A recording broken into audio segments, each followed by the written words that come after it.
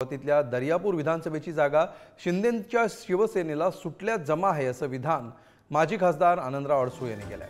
महायुतीमध्ये जागा वाटपावरनं पेच कायम असताना अडसूळ यांनी दर्यापूरची जागा सुटल्यात जमा असल्याचं विधान केलंय.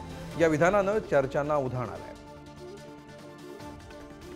करणं हे नैसर्गिक आहे. आमचा दावा म्हणजे कॅप्टन आम्ही तिथून निवडून आलेला आहे आणि शिवसेनेकडे हा वर्षानुवर्ष फार सगळ्यांपासून हा मतदारसंघ आहे.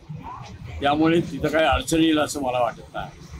कारण मुख्यमंत्री असतील किंवा उपमुख्यमंत्री असतील किंवा इव्हन अजितदादाही असतील ह्या तिघांच्या मर्जीतला हा कॅप्टन अभिजित आहे.